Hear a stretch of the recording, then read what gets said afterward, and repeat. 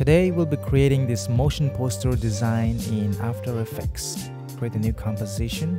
I'm gonna choose 1000 by 1000 and set this to 10 seconds long and rename this main comp. Hit OK and text tool and type in my text, size it up and align it to the center and I'm gonna create a new solid for the background BG for background and I'm gonna create a red solid move it below the text layer.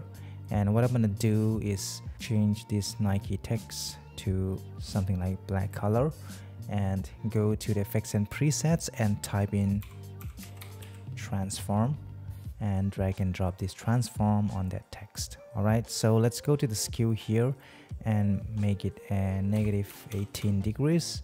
And I'm gonna move it somewhere somewhere to the top hold down shift and drag it up so it moves only to the on the y axis.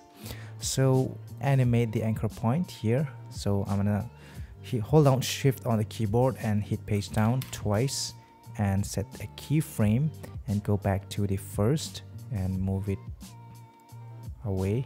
And this is what I have. Hit U on the keyboard and select all the keyframes F9 for easy ease. Alright so what I'm gonna do is duplicate and move it down here and I'm gonna duplicate keep on making duplicate of the text and drag it down what like what I'm doing here. And I'm gonna offset the position of the text. Select all the layers hit U on the keyboard and let's make some room here. Select this hold down shift and click on the first layer and move here and I'm gonna do the same again. Here. And it's like offsetting the timing you know? So I do something like this. So all right once I have this I'm gonna select all the layers and pre-compose it. Right click and pre-compose and rename this BG text. Hit OK. And I'm gonna even scale it up hit S to bring up the key the scale and scale it up to something like this. And what you have is this. So once you're done with that I'm gonna create a text. Just do it right? So make it white color and center it to the composition and scale it down. And I'm gonna select this background text hit T on the keyboard to bring up the opacity and lower the opacity to somewhere around here. And what I'm gonna do is pre-compose this text control shift and C to pre-compose it. I'll rename this title. Hit OK. And if I go inside this title and select this and you know we'll crop the text.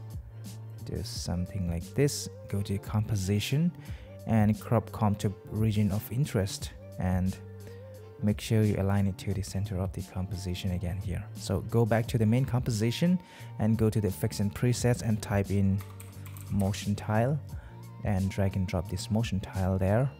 And I'm gonna increase this to maybe around 400 if we want this text to be closer to each other can go inside the text crop this again and even smaller than that just like so and I'm going to composition crop comp to region of interest and select the text align it to the center of the composition once again and go to the main composition and you see that you will you have a text closer to each other.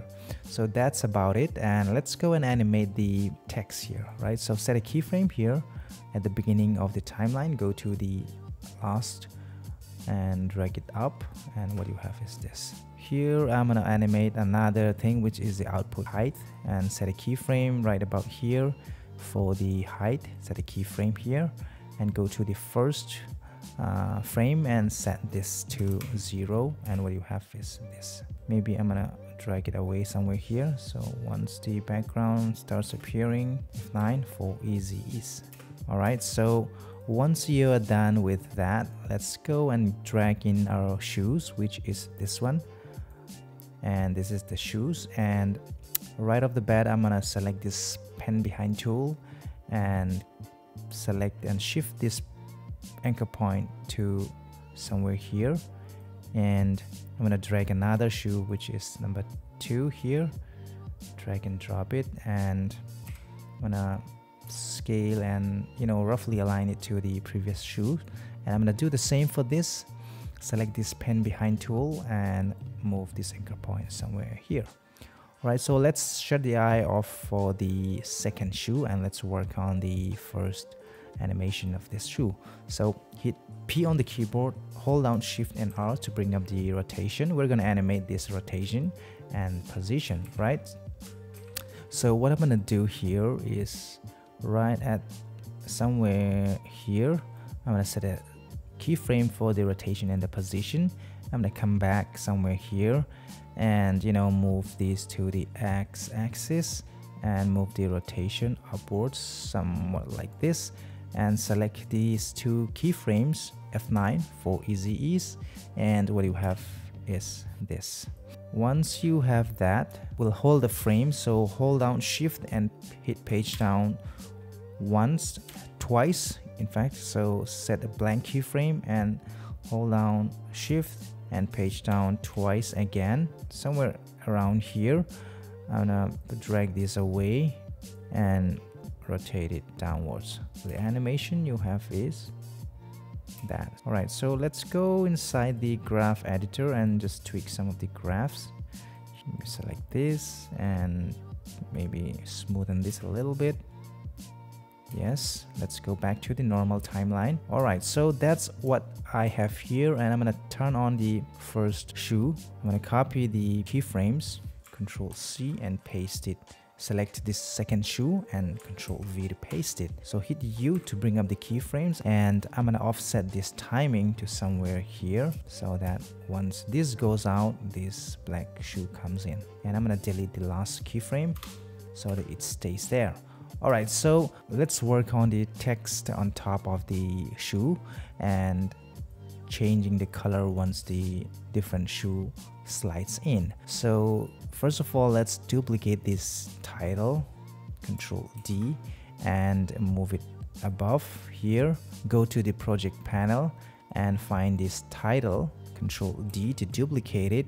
Select this title, hold down Alt on the keyboard and drag and drop it on top of that so that it replaces that text. So go inside this title, select this and swap this color so that you have only this stroke. So if you go back to the main composition, you just have this. So that's really cool. All right, so let's change the color once this slides in. Gradient, gradient, four color gradient and drag and drop it on the background here let's pick the color of the shoe. The rough selection we're gonna tweak the colors. Once we select this let's see what we have here. All right so let's uh, make this something like dark color. Select this shoe hit u on the keyboard. And once you have it here i'm going to select this and set a keyframe for all the four colors right at this keyframe. And once this slides in i'm to change this color to you know black or whatever color you like you can just you know change it uh, like you desire. So I'm gonna choose something like black and even this too. And you'll have to change the the background text as well. So this is the background text. I can just uh, go and search for you know fill and drag and drop it on that background text. And right at this point maybe I'm gonna change change it back to you know black. It was black black here. And set a keyframe for this color at this keyframe. And once the new shoe slides in I'm gonna change back the you know color to yellow or whatever color you like. And even change this text. And copy this color. And I'm gonna change this uh, you know this title text so right at this point select this title control V to paste it. Maybe change it back to oops hit U to bring up the keyframes. Select this and it was white earlier and to yellow. And I'm gonna change the color of this yellow to a brighter yellow to something like this and I'm gonna copy this fill once again. And I'm gonna paste it on the title 2 here control V to paste it. And you have that. Select the background hit T on the keyboard set a keyframe for the opacity and set this to 100 and you have that. If you want to learn more click this video. Thanks a lot for watching and I will see you in my next video. Take care